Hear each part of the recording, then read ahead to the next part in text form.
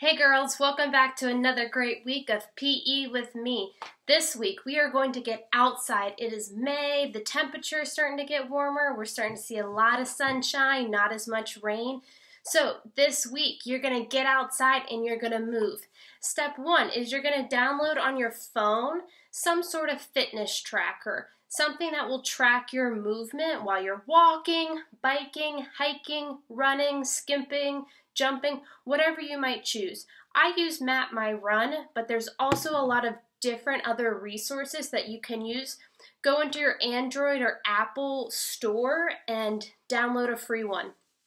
What you're going to do is you're going to get outside for at least 20 minutes today. You can choose to go longer and you can also choose your form of exercise. Today I'm going to choose to go on a run. So I'm going to go on a nice slow 20 minute jog and then afterwards I'm going to complete the ticket out the door to say how far I went and what activity I did.